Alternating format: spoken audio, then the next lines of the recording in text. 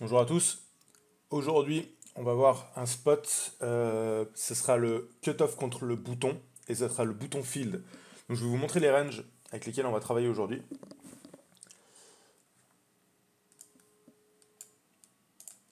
Les voici. Donc cutoff, c'est euh, la range du site à quelques mains près. Enfin, c'est euh, très très close. C'est juste une histoire de, de pourcentage. Et bouton, ça c'est la range du field. Donc euh, nous on sait qu'on peut call versus 2x avec des rois 7, 6, roi 7 sous, 3 6 sous, 3 5, dame 8, dame 7, etc. Euh, le field le fait jamais, euh, très rarement en tout cas.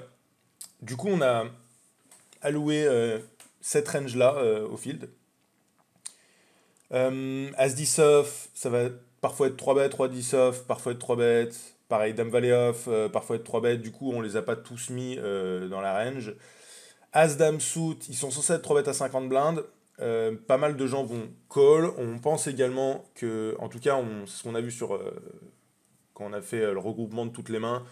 Euh, quelle main ils préféraient 3 bêtes et généralement c'était plutôt les As Dame off qui préféraient 3 bêtes et As Dame Suit call parce que As Dame Suit a plus d'équité. Enfin, eux dans leur tête, As Dame Suit va mieux jouer post-flop donc on va call alors que As Dame Suit a plus d'équité du coup normalement on est censé 3 bêtes. Bref. Ici c'est pareil, un peu dans les petits ASIC, ça va être des 3 bêtes. Euh, on a vu également en étudiant les ranges du field qu'il y avait euh, un énorme gap entre les 10 et les 9. C'est-à-dire que les 10 c'était tout le temps 3 bêtes et les 9 presque jamais. C'est euh, comme si c'était genre deux mains totalement différentes, alors qu'au final la valeur de- des 10 est très proche de la valeur des 9, qui est un peu proche de la valeur des 8, etc. Comme on l'a dans, dans nos ranges à nous. Mais le field ne fait pas comme ça.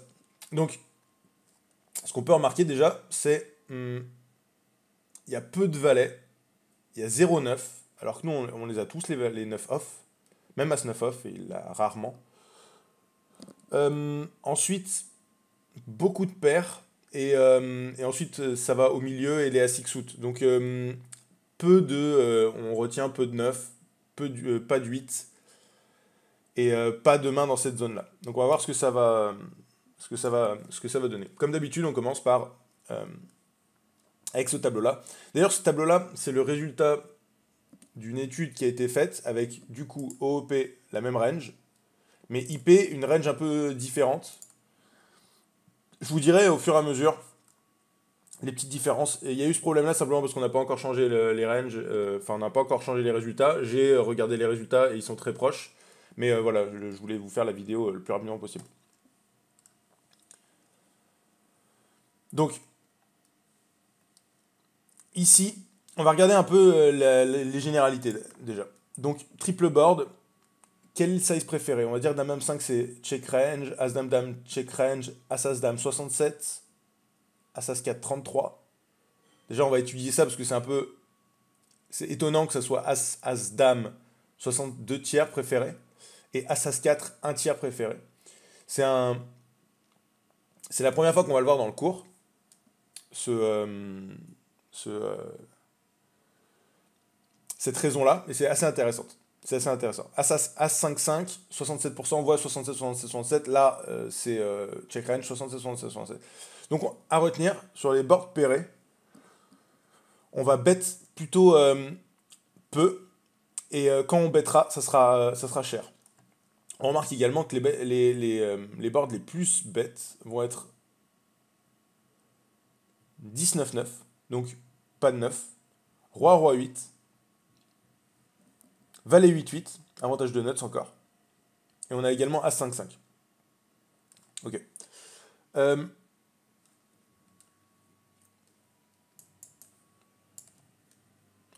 donc 19-9, on sait bet cher que nous avons un avantage de nuts et nos bluffs ont une grande équité. On check littéralement que R car vilain hit plutôt bien ce board. Euh, Ici, vous voyez que c'est bet 70% du temps, donc on peut. euh, donc en fait, c'est simplement c'est bet full range, sauf que par exemple, euh, dans notre range, on a. Qu'est-ce qu'il y a R sur 19,9 On va prendre. ça va être des euh, 6-4, euh, 5-4, euh, 5-6 suit, etc. Même les mains qui ont une over, par exemple Dame 5 suit, euh, vont être euh, bet en partie. Donc, euh, chose intéressante à retenir regardez bien le vilain que vous avez au bouton. Si jamais c'est un, si jamais sur votre stat de cold call, c'est-à-dire que c'est la stat quand vous openez combien de fois il va call, combien de fois il va flat, si jamais cette stat est très, est très resserrée, est très petite, tout ce genre de board, vous allez pouvoir tirer un avantage. Les 10, 10, 9 même, les 10, 9, 9, etc. vous voyez aussi que 10, 9, 9, on a on a très peu de R, parce que maintenant, euh, on a un avantage de nuts, et en plus, nos bluffs ont beaucoup d'équité, quand on se retrouve avec des rois valets, euh, dame 8, etc. Ensuite, je voulais vous parler de pourquoi est-ce qu'on bête Assas 4 33% du temps, et euh, Assas Dame, pas 33% du temps, un tiers, et Assas Dame 2 tiers. Donc je vous sortir la, sim tout de suite.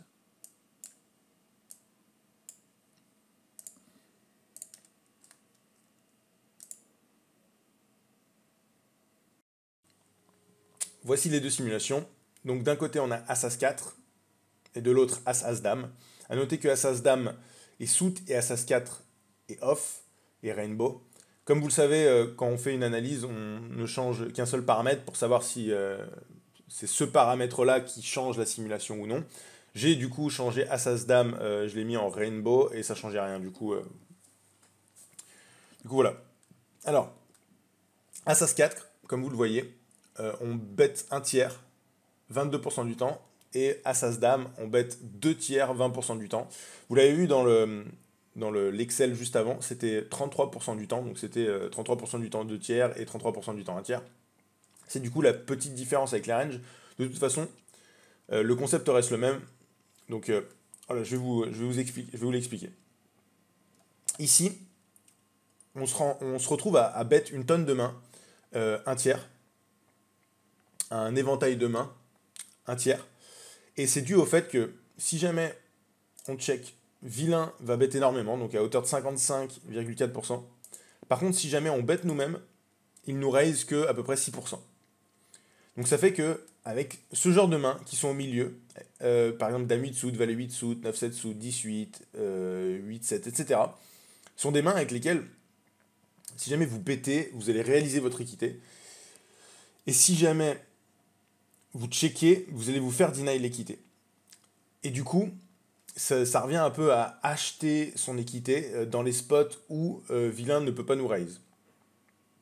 Euh, donc c'est un spot qui arrive que quand on est hors de position.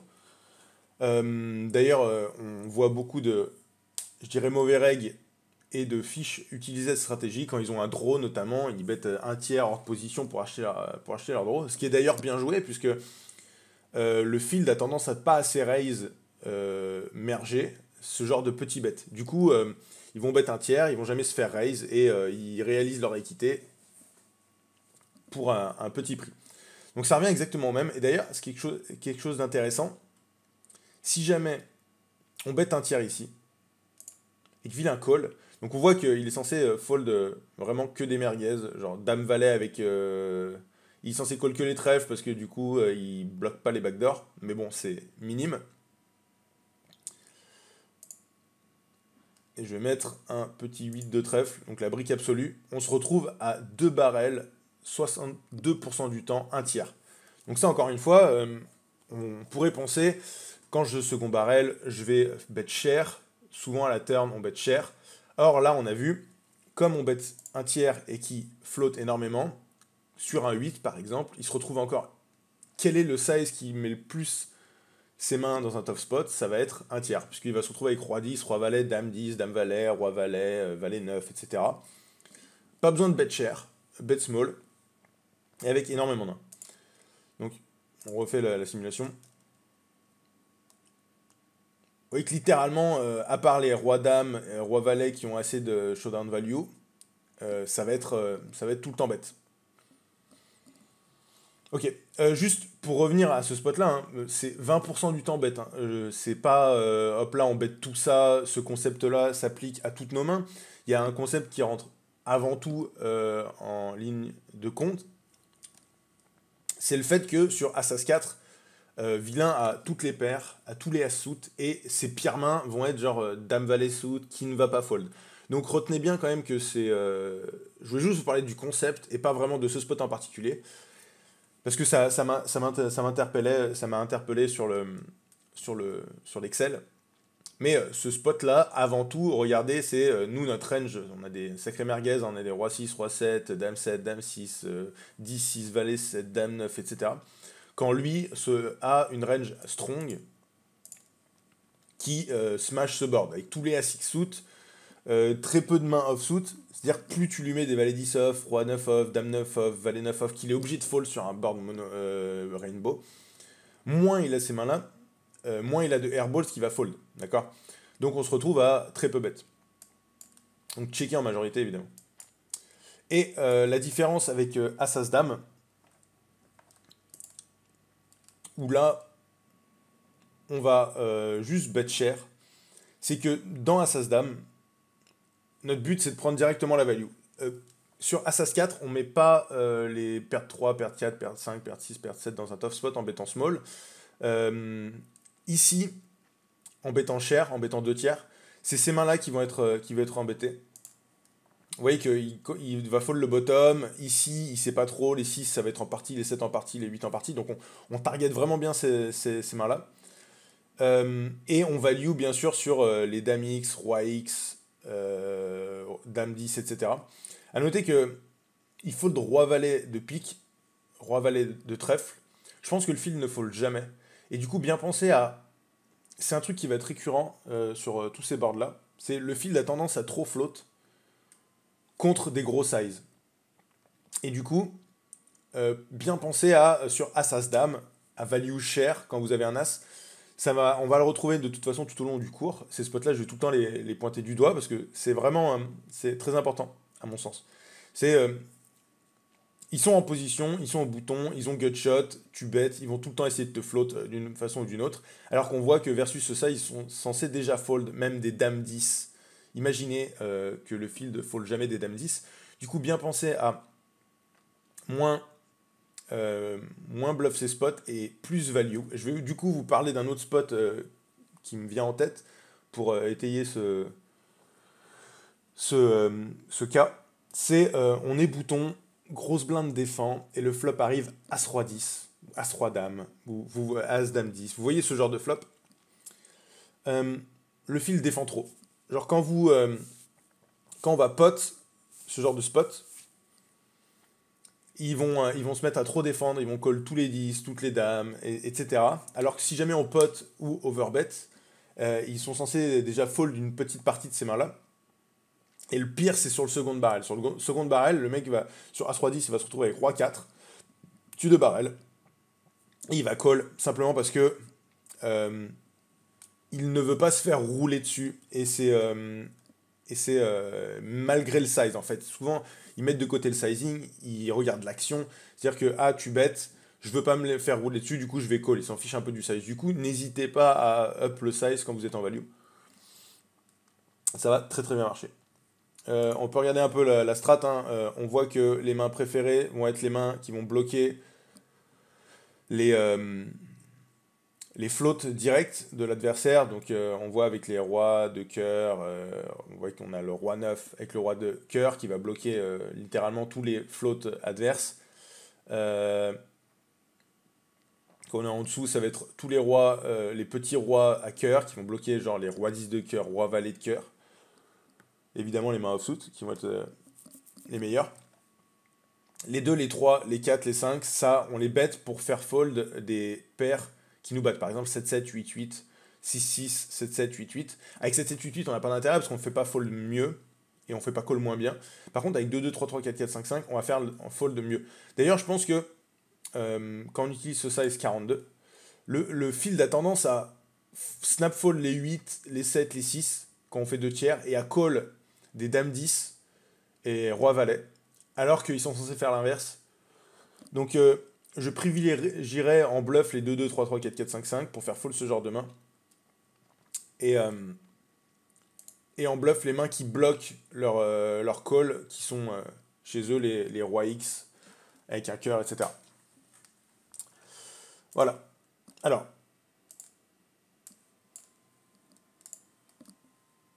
on arrive au board SI. Qu'est-ce qu'on peut remarquer? Alors que tout est check, il y a juste As 9-3 et As 8-9 qui sont euh, plus ou moins bêtes. Sinon, le size préféré, c'est un tiers. Donc, euh, première question, c'est est-ce que c'est As 9-3 est beaucoup bête à cause du 9 Et la réponse est oui. Alors, euh, déjà, j'ai catégorisé les SI en plusieurs catégories. Là, il n'y a que les SI. On a également en deux Broadway, il y a des As Dame 9 qui sont comptés dans les SI. Et dans les trois Broadway, As, Roi, Dame, As, Valet 10, etc. Et dans les bords monocolores également, As 5, 2. Donc on va faire une liste de tous les, les boards SI. Euh, quand on a que l'As, ça va euh, être check full range, on peut considérer, à part quand on a le 9 qui euh, va améliorer énormément notre équité, puisque on a plus de 9 que lui. D'ailleurs, quand euh, j'ai fait une simulation où je passais As-9-3 à As-8-3 et on repassait à check full range. Donc, euh, retenez sur les boards As-X, vous pouvez check full range. On vient un peu pareil, euh, pareil que les boards, vous voyez, genre As-As-4, où c'était check full range avec la nouvelle range, ou bet un tiers. On, on, vient un peu au même concept. Donc là, As-Dame, et là par contre c'est 2 tiers. Donc As-Dame 9, 2 tiers, As-Roi 3, 2 tiers, As-18, 2 tiers, As-Valet 8, 2 tiers de bêtes. 3 Broadway, ça fait, ça fait 2 tiers quand on bête, mais de toute façon c'est check full range. Donc euh, check full range à part quand euh, Dame, Valet 10, quand on a les nuts en fait, tout simplement. Quand on a le As-Roi avec lui, a pas. Euh, alors là on peut s'amuser à plus bête. Et sur les bornes monocolores, hors position, vous pouvez noter que de toute façon c'est tout le temps un check. Euh, à part le As Dame 9 monocolore, on en reviendra après, on y reviendra après. Ok. Donc retenez bien pour euh, les stratégies sur les boards SI avec ça. Euh, j'avais noté As 5-5, on peut plus c'est bête qu'on a un gros avantage de next avec tous les 5 qu'on open que lui n'a pas. Si on augmente sa range GTO, on va voir du coup la différence.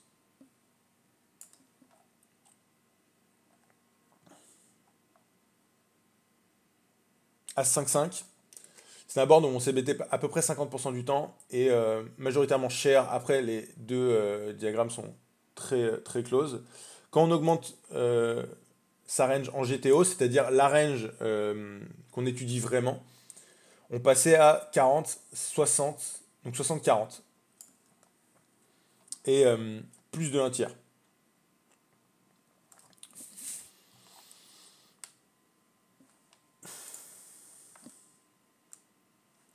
Voilà, je vous ai fait euh, le As-9-3. Quelle est la différence? Sur As-8-3, par exemple, on repasse en check range. Même concept que le As, As-4. On seconde barrel small OOP sur brick, car tous ces flots de dosor plus backdoor flush vont devoir fall même sur un small size. Il n'y a aucun bet share.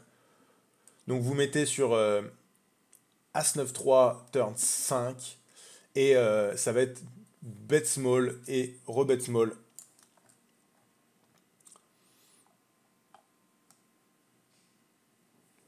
ici. C'est exactement le même concept que As, euh, As 4. C'est pour ça que c'est intéressant, ça va être euh, le thème un peu du cours pour, euh, pour rajouter un corde à notre arc, comme on dit. Sur As 10 3, on repasse à ces bêtes 30% du temps, mais cette fois-ci, le size préféré est 2 tiers, comme on l'a vu. Quand il y avait As plus un autre Broadway, on passait à 2 tiers.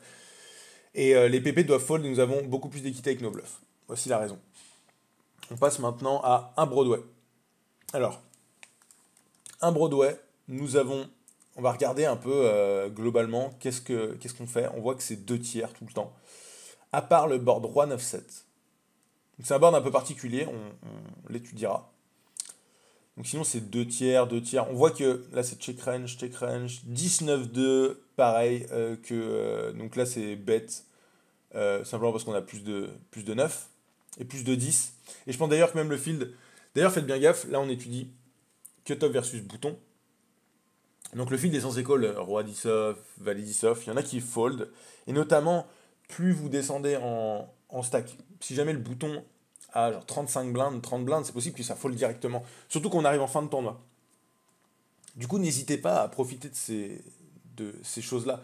Euh, puisque vous, vous allez open roi 10 off, 9 10 off, 8 9 off, etc. Quand lui, en face, va fold des valets 10 off, roi 10 off, etc. Et va même 3 bêtes des S 10 off. donc voilà, on peut, on peut voir que pour vous, faciliter, pour vous faciliter la tâche, vous pouvez check range toutes ces, tous ces boards-là, à part les boards qui vous arrangent, notamment quand il y a un 9. Sinon, tout le reste, euh, pour faciliter, ça va souvent être check range.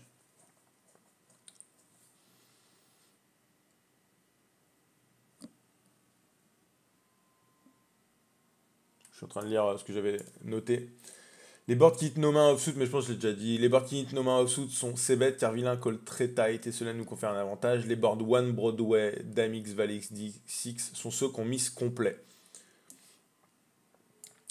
Disons qu'on ne le mise pas complet. Enfin, c'est vrai que genre Dame X, Val X, D6, D6X, qu'on se retrouve avec 8-6, euh, on se retrouve avec des rois, 3 sous, etc. Euh, on a vraiment très peu d'équité, mais c'est surtout que c'est les boards que vilain smash le plus, puisque c'est ce sont ses mains off-suit qui hit.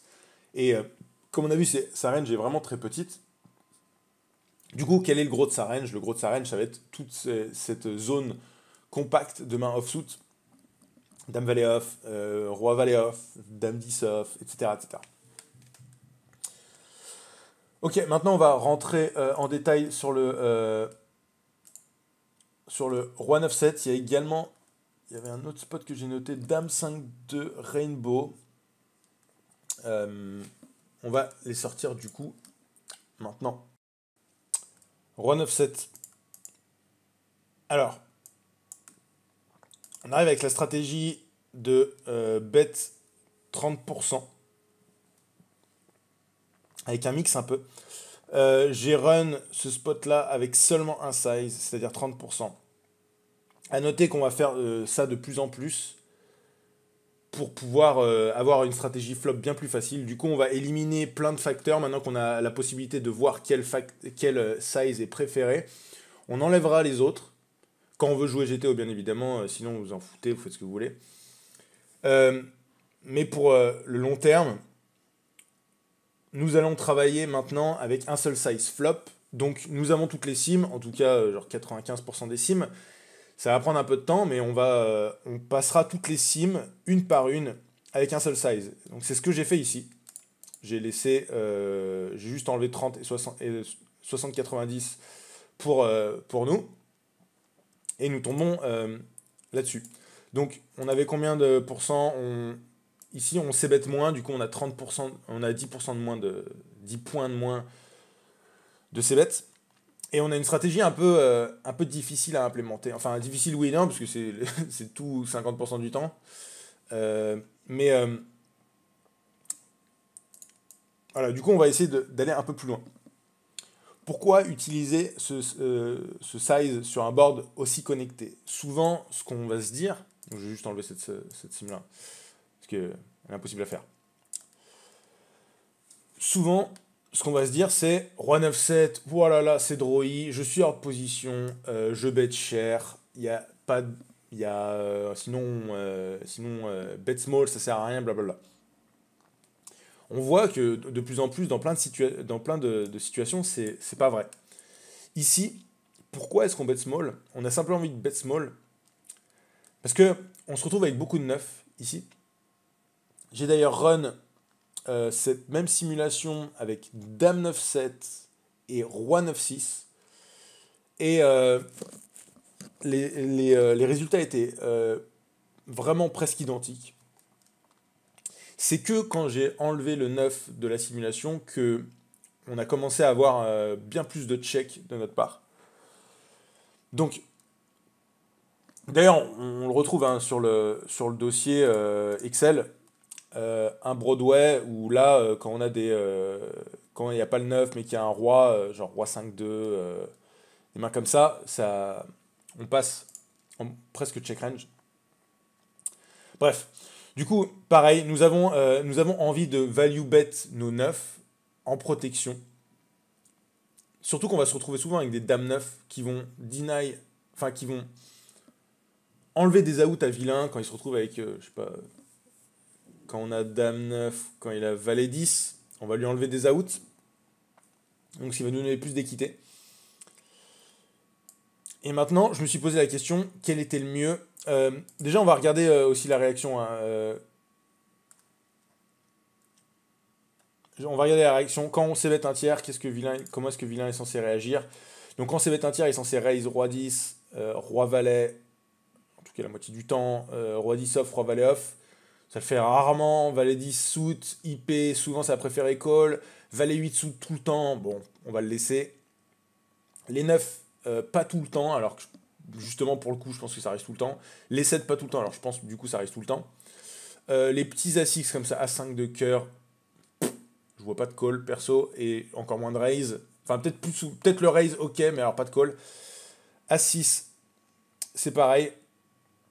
As-8, etc. Nous avons également des As-Valet avec l'As de trèfle qui est raise. Encore une fois, ça arrive jamais. Et euh, des 5-6, donc gutshot par le bas. Euh, là encore une fois, jamais.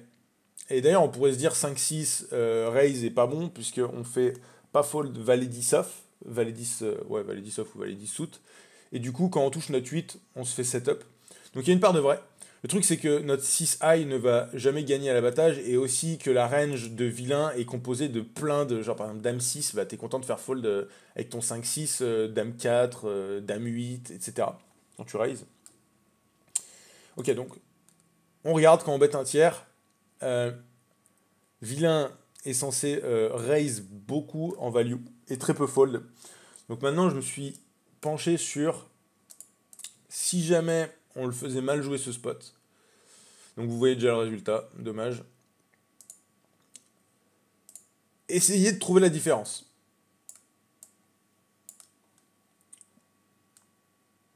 J'ai littéralement enlevé que roi valet, roi 10 pas en value. Et, euh, et c'est tout, le reste, j'ai pas touché. Et on se retrouve, du coup, juste en changeant ça, c'est un board où, euh, sur lequel on peut passer en c-bet full range. Juste en, juste en changeant des, petits, euh, des, petites réactions du field. Donc, évidemment, en pratique, c'est très difficile à savoir. Euh, comment est-ce que déjà faut apprendre par cœur comment il est censé réagir, ensuite savoir si euh, il suffit d'enlever roi 10 pour qu'on passe en c-bet full range, du coup ça va énormément euh, changer. donc du coup, très difficile à implémenter, parce qu'on ne va pas vraiment savoir. La chose à retenir, c'est que roi 9-7, les boards où on a hit avec la seconde paire, on a besoin de deny l'équité, notamment quand vilain a des As2, As3, As4 suit, des petites paires, etc., contre lesquelles on value ça devient intéressant de bet un tiers. Je vais refaire une dernière simulation maintenant en, en exagérant. Donc je vais enlever les raises là-dessus. Je vais faire fold un peu plus les paires. Et euh, faire euh, raise directement les 9 100%. Euh, en termes de bluff, je pense qu'on... C'est pas si horrible que ça. Et je pense qu'on va laisser ça comme ça. Voilà, donc dernière simulation dans ce spot. Et ensuite, on passera à la suite. Ok, c'est bon, j'ai fait la simulation. Alors ça, c'était la stratégie euh, de base. Ça, c'était la réponse de base. Voilà la réponse que j'ai mis. Donc, final, pas si différente que ça, et pas si incroyable que ça. Donc j'ai fait fold de 2-3-3, 4-4, 5-5 en petite partie, genre un poil plus, et 2-2-3-3 presque tout le temps. Je pense que c'est un peu le cas. 7-7-9-9, euh, euh, dans la sim, je les ai mis à 100%. Il y avoir un petit bug, mais euh, ça va. De toute façon, ça va, ça va rien changer. Parce que là, on est très largement à 100%. Et euh, j'ai fait call roi 10, roi valet, roi 10. Voilà, juste en gros, enlever un peu de, enlever un peu de, raise, rajouter pas mal de fold. Et, et on arrive à un cas vraiment extrême où c'est CB de 100%, un tiers. Voilà. Du coup, partie 2 qui commence après. À tout de suite.